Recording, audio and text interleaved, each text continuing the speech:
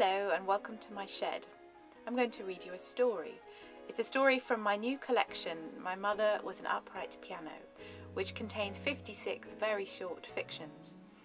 Today I'm going to read you the title story, My Mother Was an Upright Piano.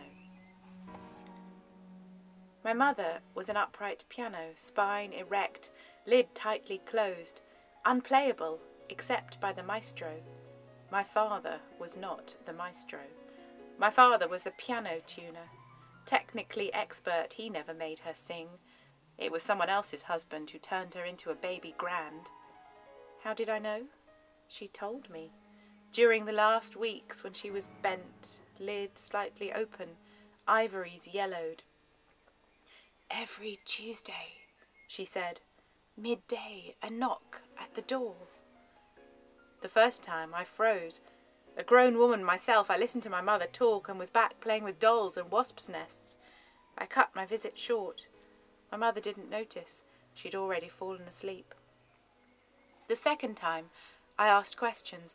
Mother, I said, he came round on Tuesdays. How many? We are fallen stars, he said to me, whispered my mother, the formerly upright piano. You and me, he said, and then he would take my hand.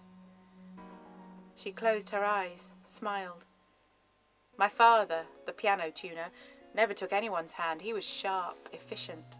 I searched my mother's face for another hint or instruction. Should I find myself one? I wanted to ask. A fallen star? A maestro?